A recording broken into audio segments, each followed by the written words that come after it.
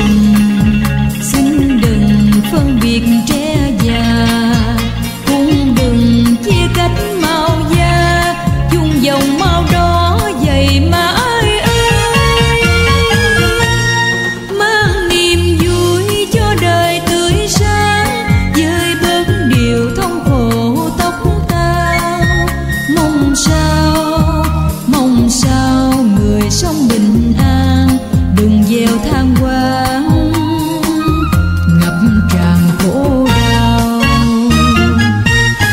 Một chiếc đũa bé thì phải gây đoàn cướp nhau năm bảy trăm đôi dù cho dù cho lực sĩ đại tài cũng không bè nổi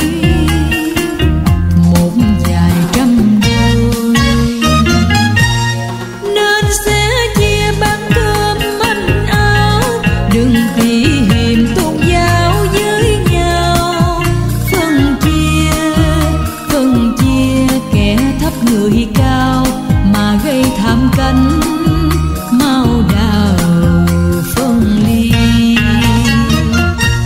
Lời khuyên nhủ ai ơi ghi nhớ, đoàn kết nhau giúp đỡ cho nhau.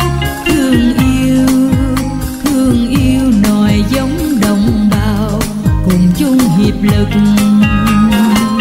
Thì việc nào cũng nên